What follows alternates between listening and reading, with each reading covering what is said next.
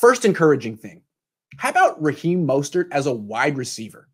That Texas route he ran, a Texas route is you start off in the backfield, you run like you're going to the sideline and make a quick 90 degree cut upfield, a diagonal, bink, bink, like a 90 degree bink, bink is how I would describe that one. And so he he had man to man coverage. The Cardinals were playing man to man coverage most of the game, and he destroyed it. It was a beautiful route. It was like a Jeff Wilson Jr. route.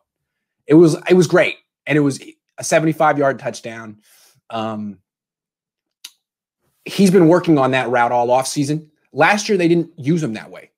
They used Jeff Wilson Jr. that way. They used Mostert on like wheel routes up the sideline. He can do that too.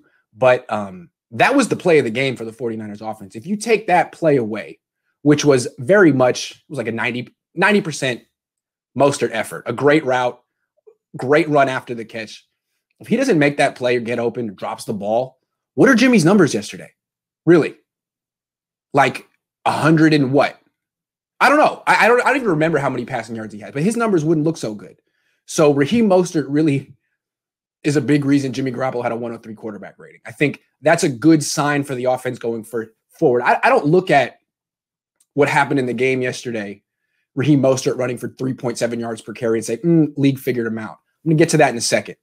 Uh, that catch, the route, forget the catch because I know he has good hands. The route is what I saw from him in training camp.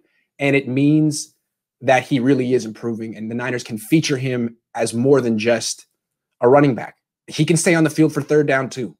Um, hey, Vern, good to see you. Vern and I were doing stand ups next to each other yesterday, man. Vern's a great guy. I love him. Um, okay. He, okay, so Jimmy Garoppolo had 259 passing yards yesterday. You take away Mostert's play, which was 90% Mostert. Good pass.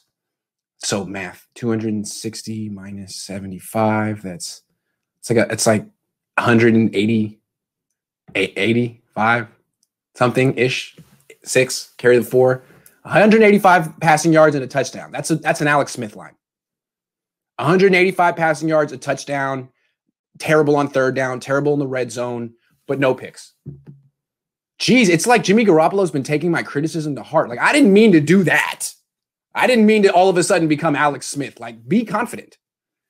You know, go get them on third down. And you don't have to throw to your wide receivers. Your running backs were open all day. Raheem Mostert was open all day. Juszczyk was open all day. McKinnon was open all day. So, um, yeah, I was talking about encouraged about Raheem Mostert.